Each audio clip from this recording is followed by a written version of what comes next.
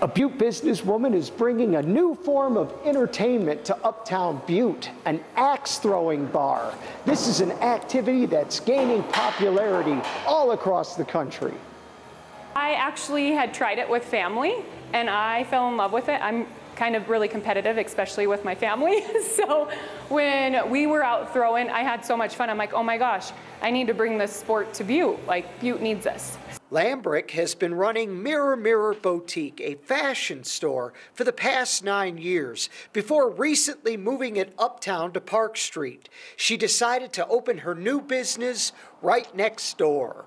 I think Uptown is starting to become that more of that shopping district again, more of the nightlife and just fun activities to have families be able to walk around um, and sidewalk shop.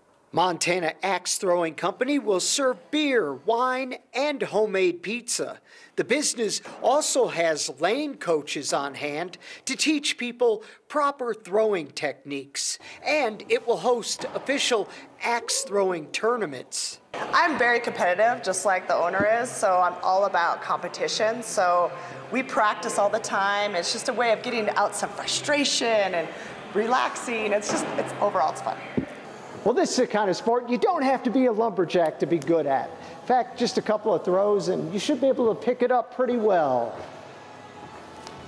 Yeah.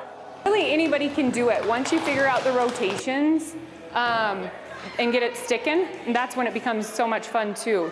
It's a, um, it is a competitive sport though, and people are really, really good at it. Lambrick hopes this business will stick in Uptown Butte.